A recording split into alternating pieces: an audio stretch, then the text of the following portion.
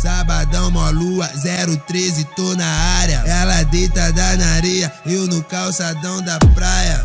De Juliette, ela me avistou do nada. Se levantou e começou a jogar a raba.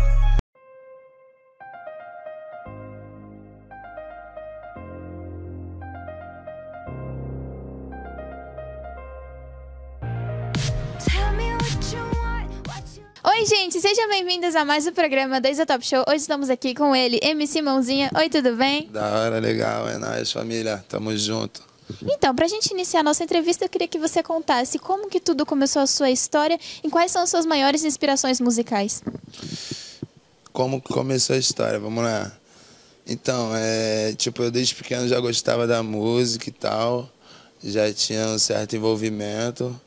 E aí o bagulho foi acontecendo, tipo, é, criado comunidade, né? O funk que é a tona no bagulho, né? Aí o bagulho foi acontecendo, tipo, aí tinha um primo meu que cantava e tal, mas bagulho de, de moleque, tá ligado? Bagulho que. Bagulho de tipo. Tipo, não era nada sério, nada, vamos dizer, profissional, né? Aí era aniversário do meu pai, um dia lá, nós, nós foi lá, escrevemos uma letra lá e e aí, a partir daí, eu vim escrevendo, escrevendo, escrevendo, e foi cada dia mais, vamos dizer, se profissionalizando, né? E estamos aí caminhando dia a dia. Tá certo. E você mudaria alguma coisa no funk ou você gostaria que fosse alguma coisa mudado no funk? Ah, tipo, eu vou falar que eu não, não sou ninguém para falar assim, ah, eu vou mudar o bagulho e tal, mas dia a dia nós está aí sempre procurando inovar, sempre procurando fazer algo melhor, né, para até para os nossos fãs, para os nossos ouvintes, né?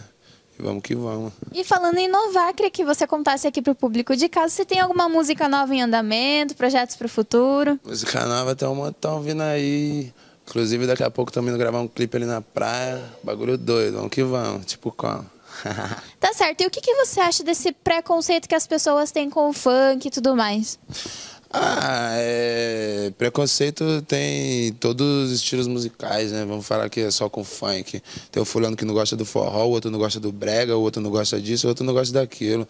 Em geral, é a ponta a ponta, porque o bagulho é fortão e a raiz é a periferia, né? Mas tá ligado, vamos que vamos, a bala não. E desde o começo, você imaginou que ia ter todo esse sucesso nas redes sociais? Ah, eu sempre tive fé e esperança, mas se eu falar que, ah, eu já sabia, tá ligado? Mas... E eu queria que você desse um conselho para as pessoas que estão iniciando suas carreiras agora. Um conselho que você que já está na música há bastante tempo, dá um conselho para o pessoal de casa.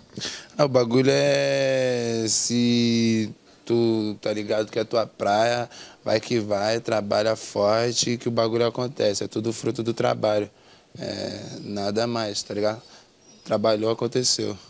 Tá certo, então. Muito obrigada pela entrevista e sucesso para você. É nóis, tamo junto. Valeu, valeu, família. Splash.